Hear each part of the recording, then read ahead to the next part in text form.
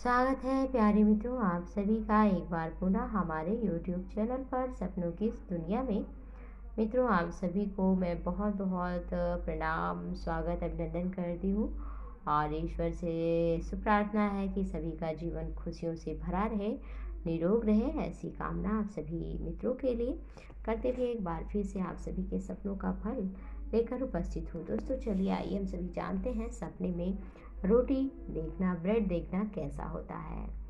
जी हाँ दोस्तों, अगर आपने भी सपने में देखा है कि आप रोटी को देख रहे हैं तो ये आपके लिए कोई अच्छी सूचना जल्द मिलने की ओर संकेत करता है। अगर आपने कोई, कहीं भी अपने घर में या बाहर कोई रोटी बना रहा है, आप खा रहे हैं, आप खाते हुए ही देख रहे हैं तो दोस्तों ये कोई आपकी अधूरी इच्छा जो अभी पूरी नहीं हो पाई है आप प्रयास में भी हैं तो जल्दी वो इच्छा आपकी पूरी होने की ओर संकेत देता है। अगर आपने बनाते हुए रोटी को देखा है सपने में तो दोस्तों, ये आपकी सेहत पर कोई असर होने की ओर संकेत देता है।